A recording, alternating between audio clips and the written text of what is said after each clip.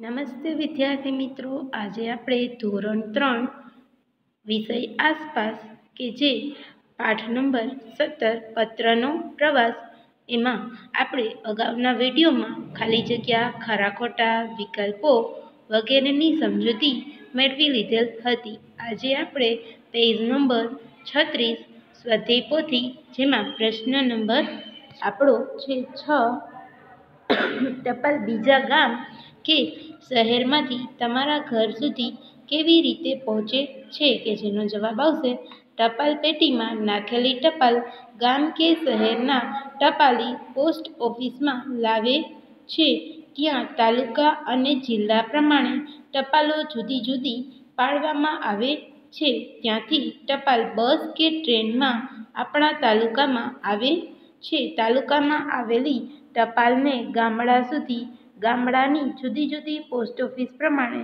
જુદી પાડવામાં આવે છે અને પછી આપણા ગામની ટપાલ આપણા ગામની પોસ્ટ ઓફિસમાં આવે છે. ત્યાંથી ટપાલી આપણા, આપણી ટપાલને આપણે, આપણને આપી જાય છે એટલે કે આપણા સુધી આપણી ટપાલ પહોંચી જાય છે.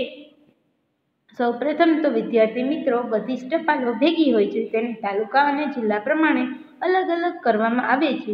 તાલુકા અને જિલ્લા પ્રમાણે અલગ અલગ થયા બાદ તે ટપાલને બસ કે ટ્રેનમાં આપણા તાલુકા સુધી પહોંચાડવામાં આવે છે. તાલુકામાં આવેલી જે ટપાલો હોય છે, એને ગામડાના જુદી જુદી પોસ્ટ ઓફિસમાં પહોંચાડવામાં આવે છે. ત્યાંથી આપણા ગામની ટપાલ હોય છે, એ બધી જ ટપાલોને આપણા ગામની પોસ્ટ ઓફિસમાં મોકલવામાં આવે છે અને ત્યારબાદ તે પોસ્ટ ઓફિસના જે ટપાલી હોય છે, એ ટપાલી આપણને આપણે, આપણી ટપાલ આપણા ઘરે આપી જાય છે. ત્યાર પછીનો એટલે કે સાતમા નંબરનો પ્રશ્ન, ટેલિફોન અથવા તો મોબાઈલ દ્વારા આપણને કઈ કઈ સગવડ મળે છે? જેનો જવાબ આવશે, ટેલિફોન કે મોબાઈલ દ્વારા રૂબરૂ વાતચીત થઈ શકે છે. તેનો બધી જ જગ્યાએ હરતા ફરતા ઉપયોગ કરી શકાય છે. મોબાઈલથી આપણે સામેની વ્યક્તિનો અવાજ સાંભળી શકીએ છીએ અને વાતચીત કરી શકીએ છીએ તેમજ મોબાઈલ દ્વારા ઓડિયો, વિડીયોથી રૂબરૂ વાર્તાલાપ પણ થઈ શકે છે. મોબાઈલ દ્વારા લેખિત સંદેશો પણ મોકલી શકાય છે. જુઓ, વિદ્યાર્થી મિત્રો, આજે તમે બધા જ વિદ્યાર્થી મિત્રો ટેલિફોન અને મોબાઈલનો યુઝ કરો છો એટલે કે મોબાઈલનો ઉપયોગ કરો છો. તો આ પ્રશ્ન લખવો આપણને ખૂબ જ સરળ પડશે. જુઓ, વિદ્યાર્થી મિત્રો, ટેલિફોન અને મોબાઈલ દ્વારા સૌપ્રથમ તો આપણે રૂબરૂ વાતચીત કરી શકીએ છીએ. તેનો બધી જગ્યાએ હરતા ફરતા ઉપયોગ કરી શકીએ છીએ. જુઓ, વિદ્યાર્થી મિત્રો, આજે તમે તમારા ઘરે બેઠા છો. કાલ સવારે તમારે બહાર ગામ જવાનું થાય, તો પણ તમે તમારો મોબાઈલ ફોન તમારા હાથમાં રાખી અને કાલ, કાલે બહાર ગામ જઈ શકો છો.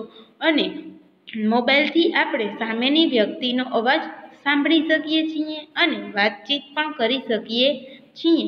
મોબાઈલ દ્વારા ઓડિયો અથવા તો વિડીયોથી આપણે રૂબરૂ વાર્તાલાપ કરી શકીએ છીએ. જો ઓડિયો કરેલો હોય તો આપણે ફક્ત તે સામેવાળી વ્યક્તિનો અવાજ જ સંભળાઈ શકે છે. પરંતુ વિડીયોથી આપણે સામેની વ્યક્તિનો અવાજ પણ સાંભળી શકીએ છીએ અને સામેની વ્યક્તિને જોઈ પણ શકીએ છીએ. આ રીતે મોબાઈલ દ્વારા આપણે અનેક કાર્યો કરી શકીએ છીએ. તે ઉપરાંત મોબાઈલ દ્વારા આપણે લેખિત સંદેશો પણ મોકલી શકીએ છીએ.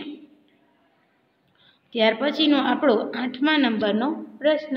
પોસ્ટ ઓફિસની મુલાકાત લઈ નીચે મુજબની માહિતી લખો. જેમાં પોસ્ટ ઓફિસનું સ્થળ કયું છે? તેમાં પહેલાં મેં જવાબ લખેલો છે. મોટો વાસ અને રતનગઢ. પોસ્ટ ઓફિસ છે એ કઈ જગ્યાએ આવેલી છે? તો કે મોટો વાસની અંદર રતનગઢ, રતગઢમાં આવેલી છે. ત્યાર પછીનો આપણો બીજા નંબરનો પ્રશ્ન કે જે પોસ્ટ ઓફિસની તમે મુલાકાત લીધી છે, તેના પોસ્ટ માસ્ટરનું નામ શું છે? તો એનો જવાબ લખેલો છે કાનજીભાઈ પી. સોલંકી. ત્યાર પછીનો ત્રીજા નંબરનો પ્રશ્ન. તમે જે પોસ્ટ ઓફિસની મુલાકાત લો છો, તેના ટપાલીનું નામ. તો એમાં લખેલું છે નાગજીભાઈ ચાવડા. ત્યાર પછીનો તમે જે પોસ્ટ ઓફિસની મુલાકાત લીધેલ છે, ત્યાંનો પિનકોડ શું છે? તો અહીં જવાબ લખેલો છે, ત્રણ આઠ પાંચ ચાર એક ઝીરો.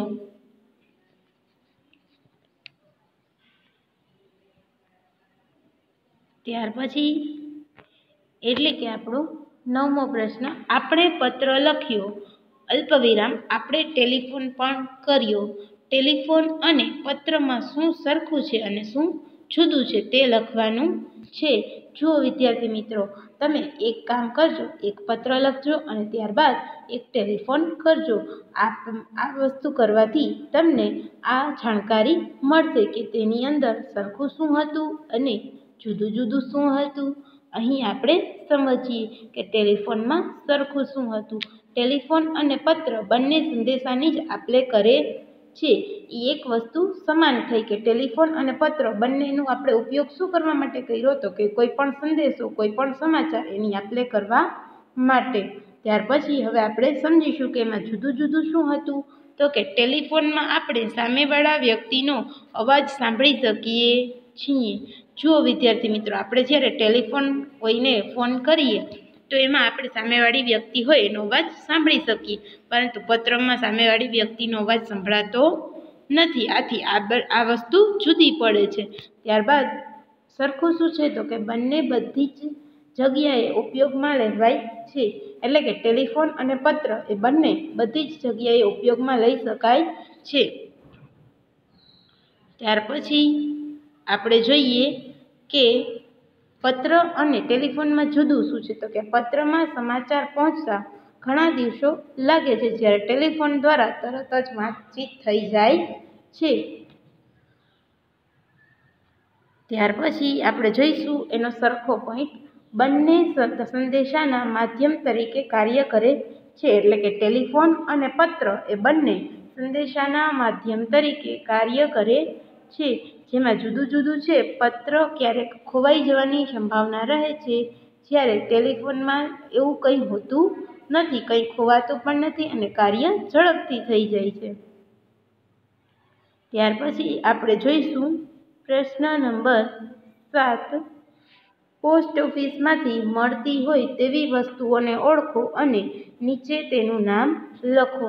જુઓ વિદ્યાર્થી મિત્રો, તમે તમામ વિદ્યાર્થી મિત્રો એક દિવસ પોસ્ટ ઓફિસમાં જઈને ત્યાંની મુલાકાત લેશો કે જેથી તમને નીચે આપેલી વિગતોની જાણકારી મળી રહે. જુઓ વિદ્યાર્થી મિત્રો, તમે જ્યારે પોસ્ટ ઓફિસમાં જશો ત્યાં આ પ્રકારનું તમને એક કાર્ડ આપવામાં આવશે, જેને કહીશું આપણે પોસ્ટ કાર્ડ. ત્યાર પછી આ આવું જે કાર્ડ હશે જેને આપણે કહીશું આંતરદેશીય પત્ર, ત્યાર પછી પોસ્ટ ઓફિસમાં તમને આ પ્રકારનું કંઈક ચિત્ર જોવા મળશે જેને કહેવાય છે કવર. ત્યાર પછી પોસ્ટ ઓફિસમાં તમે જ્યારે પત્ર લખશો અને પત્ર કોઈકને મોકલવો હશે ત્યારે તમને પોસ્ટ ઓફિસ આ પ્રકારનું એક કંઈક નાનકડું ચીટકું આપશે જેને કહેવાશે ટિકિટ. ત્યાર પછી આ ચિત્ર છે રેવન્યુ સ્ટેમ્પનું. અને આ ચિત્ર છે સોનાનો સિક્કો અથવા તો લગડી, જેને બીજા શબ્દોમાં લગડી પણ કહી શકાય. ત્યાર પછી હવે આપણે જોઈશું પ્રશ્ન નંબર આઠ. નીચે આપેલા પોસ્ટ કાર્ડમાં તમારું પૂરું સરનામું લખો. વિદ્યાર્થી મિત્રો, અહીં મેં આ સરનામું લખેલું છે. તમે તમારું સરનામું પણ લખી શકો છો. જુઓ, જેમાં લખેલું છે, અમદાવાદ ગીત રાજપીર રાજગોર આશ્રય, રેસિડન્સી અને વસ્ત્રાપુર, અમદાવાદ. જ્યાં નીચે મેં અહીં પિનકોડ પણ લખેલા છે કે three eight double zero five two.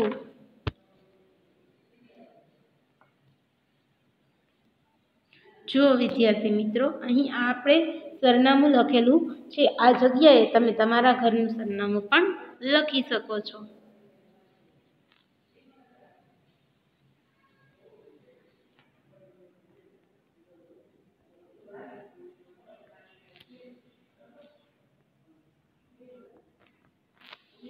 હવે જુઓ, વિદ્યાર્થી મિત્રો, પ્રશ્ન નંબર નવ. નીચેના ચિત્રોમાં પત્રની મુસાફરી આપેલી છે. અહીં ચિત્રો ક્રમ મુજબ નથી. તેને યોગ્ય ક્રમમાં ગોઠવો અને સાચો ક્રમ વર્તુળમાં મૂકો. તો સૌપ્રથમ, વિદ્યાર્થી મિત્રો, આપણે શું કરીએ? તો કે સૌપ્રથમ આપણે પત્ર લખીએ. આથી આપણે સૌપ્રથમ શું કરશું? તો કે પત્ર લખશું. જો વિદ્યાર્થી મિત્રો, આ છોકરી છે પત્ર લખી રહી છે. આથી આના વર્તુળમાં આપણે નંબર આપીશું એક. ત્યાર પછી બીજા બીજા નંબરનું આપણું કામ શું થશે? તો કે આપણે પત્ર લખીએ અને પત્રને ટપાલ પેટીમાં મૂકશું. આથી આપણું બીજા નંબરનું કામ જુઓ વિદ્યાર્થી મિત્રો, આ છોકરી છે એણે પત્ર લખી લીધો અને ટપાલ પેટીમાં તે પત્ર મૂકવા ગઈ છે. આથી એને નંબર આપીશું આપણે બે. ત્યાર પછી વિદ્યાર્થી મિત્રો આપણું ત્રીજા નંબરનું કાર્ય થશે કે આપણે પત્ર લખી નાખ્યો અને તેને ટપાલ પેટીમાં મૂકી દીધો. ત્યાર પછી ત્રીજા નંબરનું કાર્ય જે એક વ્યક્તિ છે એ ટપાલ પેટીમાંથી તમામ ટપાલો લઈ જાય છે કે જેને આપણે કહીશું. પોસ્ટ ઓફિસ પોસ્ટ માસ્તર એમ કે પોસ્ટ માસ્તર છે તે તમામ ટપાલોને પોસ્ટ ઓફિસ સુધી પહોંચાડશે.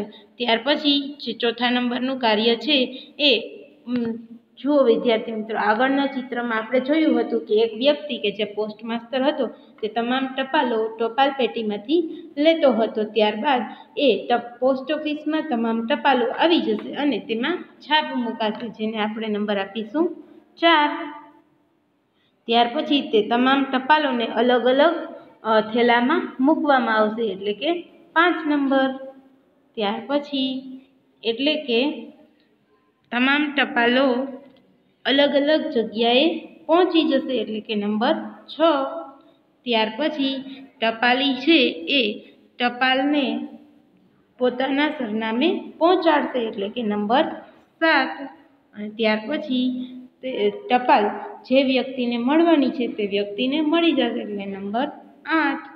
આમ, આ રીતે આપણે આ પત્રની જે મુસાફરી હતી એને અલગ અલગ ક્રમમાં ગોઠવી દીધી. ત્યાર પછી હવે આપણે સમજીશું. પ્રશ્ન નંબર દસ. બંધ બેસતા જોડકા રચો કે જેમાં પહેલા નંબરનું છે પ્રાચીન સમય પ્રાચીન સમયની ટપાલ પ્રથા. તો વિદ્યાર્થી મિત્રો, પ્રાચીન સમયની ટપાલ પ્રથા. પ્રાચીન સમયમાં એટલે કે પહેલાંના સમયમાં આ રીતે કબૂતર દ્વારા ટપાલ મોકલવામાં આવતી હતી. ત્યાર પછી આપણે જોઈશું ટપાલ પેટી. બીજા નંબરનું છે ટપાલ પેટી. તો વિદ્યાર્થી મિત્રો, અહીં આપણે જે ચિત્ર દેખાય છે, એમાં ટપાલ પેટીનું ચિત્ર કયું છે? તો કે ટપાલ પેટીનું ચિત્ર આ ચોથા નંબરનું છે. ત્યાર પછી ત્રીજા નંબરનું આપણું પ્રશ્ન ફેક્સ મશીન. તો ફેક્સ મશીન કયું છે, વિદ્યાર્થી મિત્રો? તો જુઓ, તમને જોતા જણાશે કે ફેક્સ મશીન એ આ ચિત્ર છે. ત્યાર પછીનું એટલે કે આપણું ચોથા નંબરનો પ્રશ્ન, મોબાઈલ મોબાઈલ ફોન. તો આપણો મોબાઈલ ફોન કયો છે, એમાંથી આ.